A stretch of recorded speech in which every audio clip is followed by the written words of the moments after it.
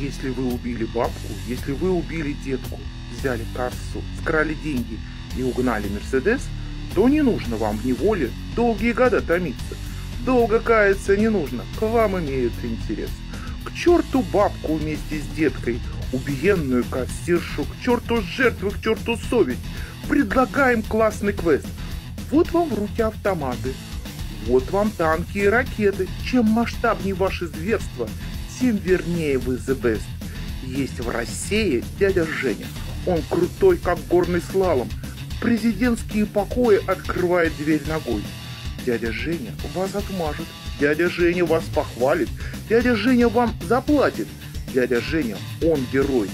Вы вернетесь к жизни светской, озверевшие шакалы, и в ночи услышит Рашка ваш голодный дикий вой. И повесят вам медальки, орденочки и значочки. Назовут сыны отчизны, расцелуют в купола. Ведь сейчас нужны такие, кто не знает слова жалость, кто готов стрелять по людям. Велкам к нам в обитель зла.